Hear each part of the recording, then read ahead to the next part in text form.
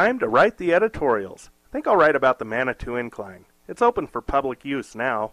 Oh no, here comes Pula. Doesn't look like she's in a good mood. It's gonna be a bad day. I started on the real estate section, and that means you're gonna have to do some work for a change. Pula, behind you, it's Joe Hight, the new editor. Maybe he has some ideas on this real estate section. Hey, Pula, guess what? You don't have to do that real estate section this year.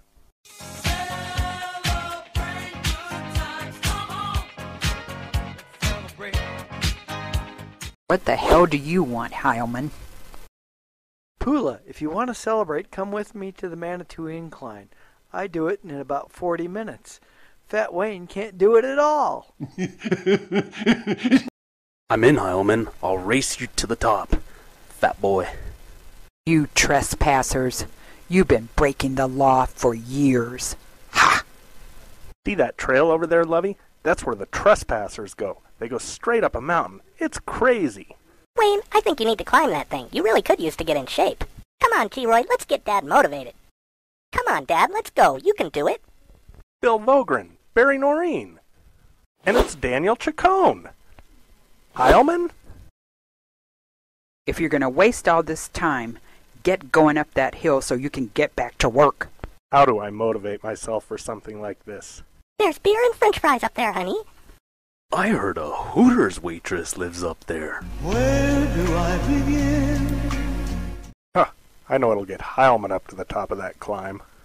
Don't you tell me you're full, just eat it, eat it. Get yourself an egg and beat it. Have some more chicken, have some more pie. It doesn't matter if it's boiled or fried, just eat it. Oh my god, I can't take this anymore. I'm gonna keel over.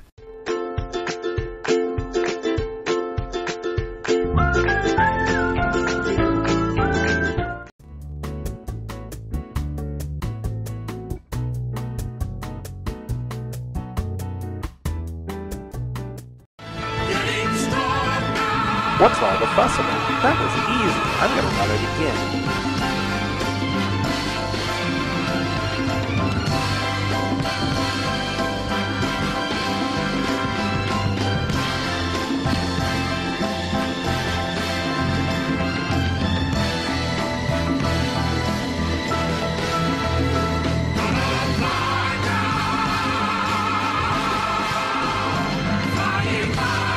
Honey, let's go home.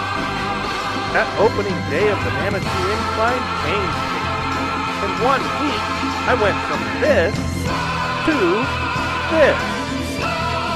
Come to Colorado Springs and visit the Manitou Incline. Finally, it's legal.